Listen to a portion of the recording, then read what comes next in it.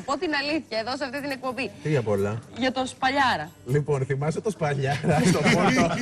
θυμάσαι το Σπαλιάρα στο πόρτο Λέγαμε για χέλι τον ποπό του Που ερχόταν Σπαλιάρα. αέρινος με το πόντσο του και μας έλεγε ότι φοράει ένα πόντσο και από μέσα με γυμνός. Ήταν οι ωραιότερες μέρες στο χέλι με το Σπαλιάρα. Έτσι, γελάσαμε πάρα Γιατί πολύ. είχε έρθει. Να το πω, Ελάνα. Να το πεις.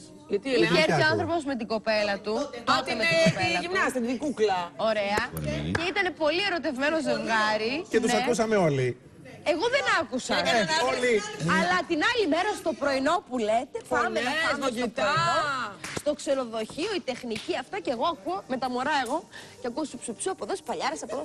Λέω τι πάνατε καλέ, τι έγινε; Ότι ο Σπαλιάρας στο ξενοδοχείο το βράδυ, Ευλόγησε. όλη τη νύχτα αυτοί που μένανε στα διπλανά Πάει ο δωμάτια Σουνιές. πήραν τηλέφωνο, εμείς τώρα η εκπομπή.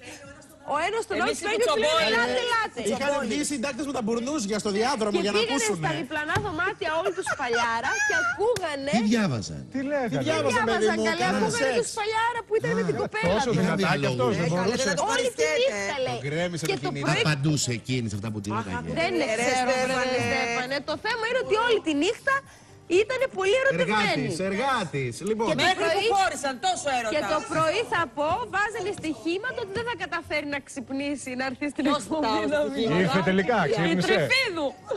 Ήρθε τελικά. Ήρθε μόνο Μια ήρθε. χαρά. έχω να σου πω ότι τώρα στο Χαμπάρι Survivor. δεν πήρε. Χαμπάρι. Τώρα στο Αχ, Survivor Θεέ δεν μου. υπάρχει πόντσο. υπάρχει; Δεν έχουμε πόντσο. Έχει Οπότε αντοχές βρε ο έχει Σπαλιάρας. αντοχές, αλλά πλέον έχει αδυνατήσει τόσο που το ποπάκι έχει αρχίσει να κάνει την εμφάνισή τους. Έχω πολύ ωραίο. Του πέφτουν τα παντελόνια. Ναι, ναι, πέφτουν τα παντελόνια, τσακώνονται και μεταξύ τους.